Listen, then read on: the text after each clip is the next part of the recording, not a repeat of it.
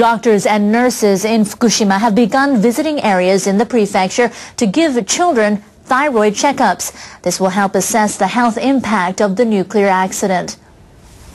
239 children were checked at a health center and nursery school in the town of Kawamata on Monday. Their parents will be notified of the results in about one month.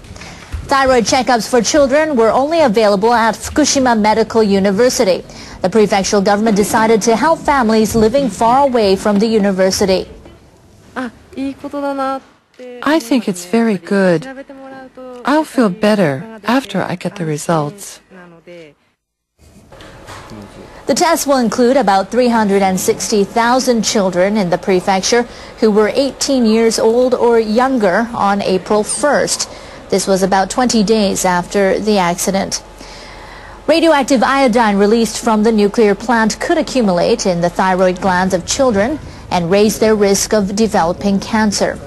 Children in the prefecture will undergo the checks every two years until they turn 20. After this, the checks will be once every five years.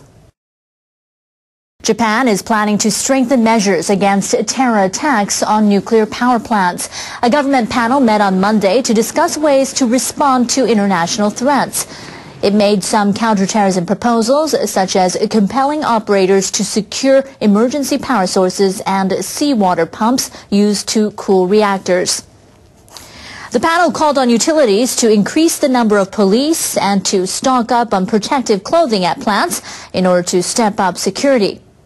It also says computer systems controlling nuclear plants should be separate from outside networks to protect them from cyber attacks. Chief Cabinet Secretary Osamu Fujimura told the panel that the crisis at the Fukushima plant could have been triggered by terrorist attacks, not just by natural disasters. It also says computer systems controlling nuclear plants should be separate from outside networks to protect them from cyber attacks. Chief Cabinet Secretary Osamu Fujimura told the panel that the crisis at the Fukushima plant could have been triggered by terrorist attacks, not just by natural disasters.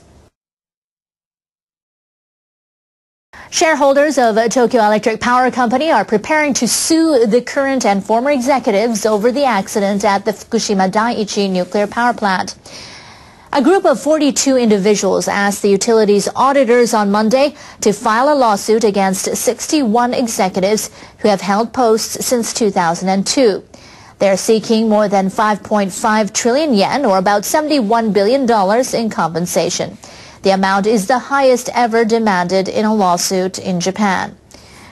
The investors say TEPCO executives failed to take steps to protect the plant from earthquakes and tsunami and must be held accountable for the accident. We want to make it clear through a court trial that the executives are personally responsible. They added that if the auditors don't file the lawsuit within 60 days, they will do so on their own. TEPCO declined to comment on the matter. An electric company in western Japan has submitted to the government the results of safety tests on a reactor at its nuclear power plant, but there is some debate over the significance of the tests. Shikoku Electric Power Company on Monday handed the Nuclear and Industrial Safety Agency the results of a so-called stress test on its plant. Shikoku Electric claims tests on the number 3 reactor at the Ikata nuclear plant in Ehime Prefecture confirm its safety. The utility is the second to submit stress test results since the Fukushima accident.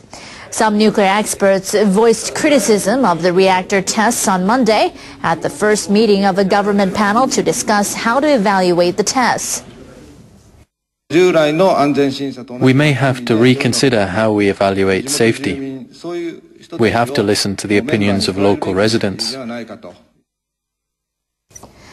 Another panel member said that the stress test should not be the only condition for restarting reactors when the cause of the Fukushima accident is still unclear.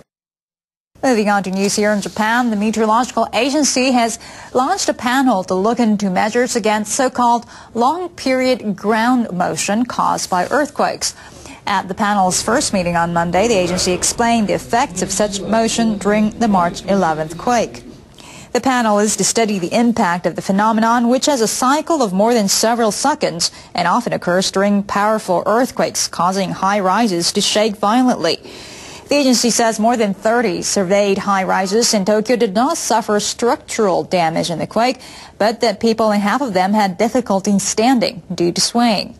The phenomenon reportedly damaged a tall building in Osaka, hundreds of kilometers from the quake's epicenter.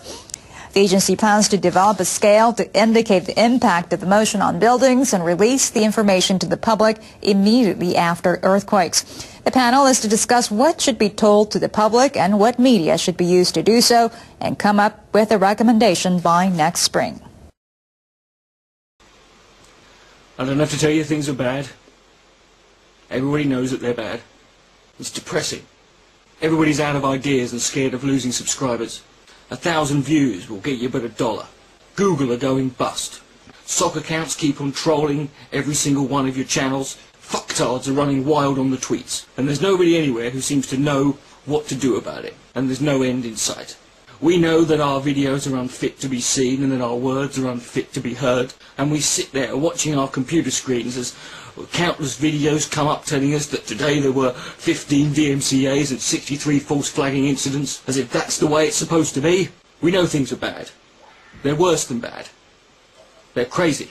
Everybody, everywhere, is going crazy. So we don't upload anymore. We just sit there on our channels, and as more suspensions go on and on and on, and the little world we're in gets smaller and smaller, and all we say is, please, please, just leave me here in our blog TV chat rooms, and leave us here with our Twitter and our Facebook and, and our Ustream, and we won't say anything. Just leave us alone. Well, I'm not going to leave you alone. I want you to get mad. I don't want you to protest. I don't want you to riot. I don't want you to write to YouTube or Google because I wouldn't know what to tell you to say anyway. I don't know what to do about the DMCAs and the fundies and the fucktards and the false flagging and the slime that's on this site. All I know is this. You've got to get mad. You've got to get mad. You've got to stand up and say, I'm a human being, damn it. My vlogs have value.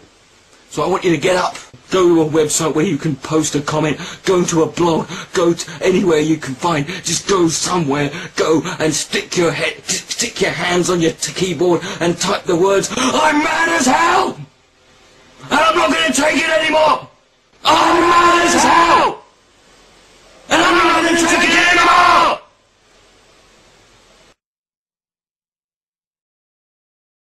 And Japan's emperor is to remain hospitalized due to a worsened fever and coughing. The Imperial Household Agency announced this on Monday. The 77-year-old Emperor Akihito was hospitalized on November 6th with mild symptoms of bronchitis, including fever and persistent coughing. The agency said he was to be released last Friday as his temperature on Thursday was back to normal and his cough had eased. But his condition reportedly worsened that night. The emperor was to attend an event to welcome Bhutan's royal couple this week. His duties will be to take over, taken over by Crown Prince Naruhito.